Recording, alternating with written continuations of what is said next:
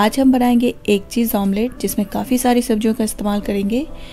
इसमें चीज़ होने के कारण बच्चे भी बड़ी आसानी से इसे खा लेते हैं। तो बहुत ही हेल्दी और अच्छा ऑप्शन है ब्रेकफास्ट के लिए। आप इसे स्नैक्स में भी सर्व कर सकते हैं। तो रेसिपी को पूरा ज़रूर देखिएगा और पसंद आए तो प्लीज़ लाइक करना बिल्कुल ना भूलें।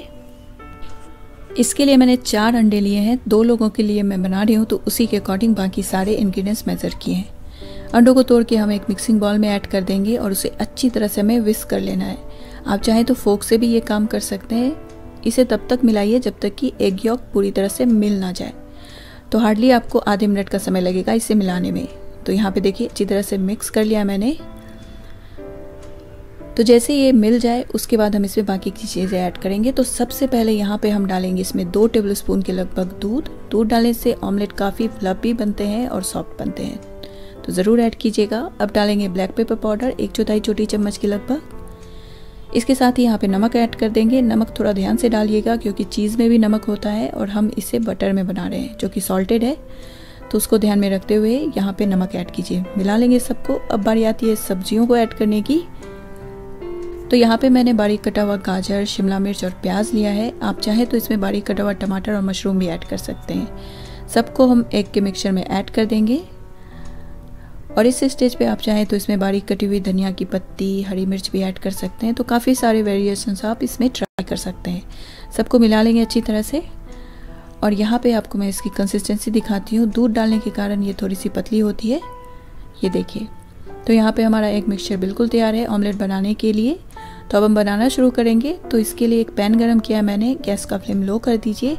ऐड करेंगे इसमें दो चम्मच के लगभग बटर। आप इसे तेल में भी बना सकते हैं, तब भी ये बहुत टेस्टी बनेंगे।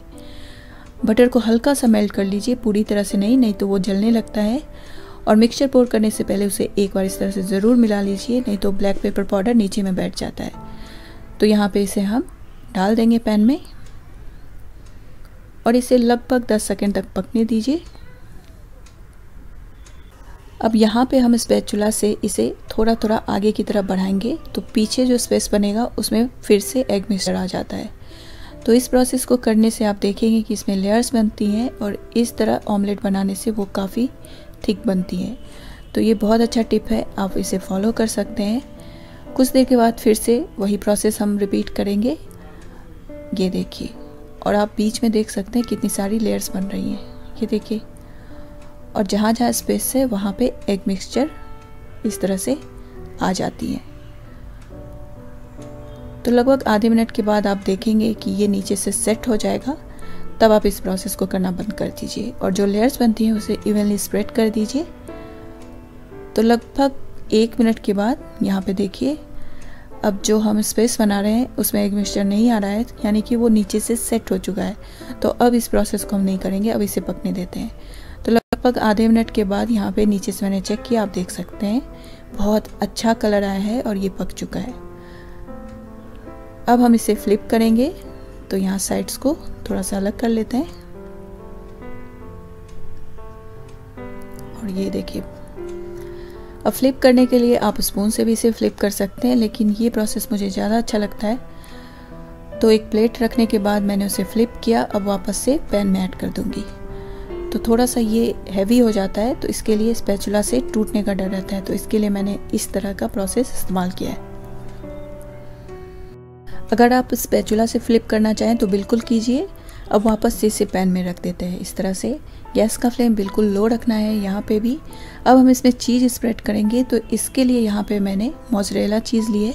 आप कोई भी प्रोसेस चीज़ इसमें इस्तेमाल कर सकते हैं। आप चाहें तो चीज़ स्लाइस भी इसमें ऐड कर सकते हैं या फिर इस तरह से ब्रिक जो मिलता है उसे ग्रेट कर लीजिए और फिर ऐड कीजिए। तो यहाँ पर एक साइड हम इसे अच्छी तरह से स्प्रेड कर देंगे क्योंकि हमें इसे फिर से फ्लिप करना है। तो यहाँ पर देखिए, लगभग एक चौथाई कप चीज़ ली है मैंने। और अब हम इसे फोल्ड कर देंगे इस तरह से। और आप देख सकते हैं इसकी थिकनेस कितनी अच्छी है। अब लगभग आधे मिनट के लिए हम इसे लो फ्लेम पे एक साइड पकने देंगे और फिर से फ्लिप करेंगे। तो यहाँ पे देखिए आधा मिनट हो चुका है तो अब हम इसे फ्लिप कर देते हैं।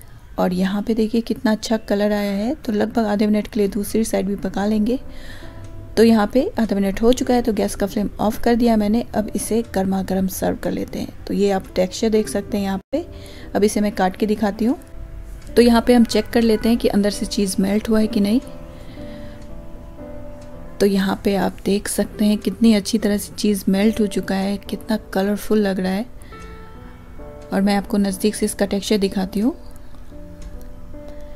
तो ये देखिए, चीज़ कितनी अच्छी तरह से मेल्ट हुआ है इसमें। तो यहाँ पे आप ऑमलेट की थिकनेस देख सकते हैं। अंदर में इसकी लेयर्स आप नोटिस कर सकते हैं। तो वो जो टिप हमने फॉलो की थी, उसे ज़रूर फॉलो कीजिएगा। इस तरह से आप ऑमलेट बनाइए, आपके बच्चों को भी ये बहुत पसंद आएगी। इसे गर्मा गर्म सर्व कीजिए। तो इस रेसिपी को बिल्कुल इसी तरह से ज़रूर ट्राई कीजिएगा। उम्मीद है आपको पसंद आएगी। अगर अच्छी लगती है तो इसे लाइक कीजिए। ज़्यादा से ज़्यादा शेयर करना मत भूलिए। मेरे चैनल पे आप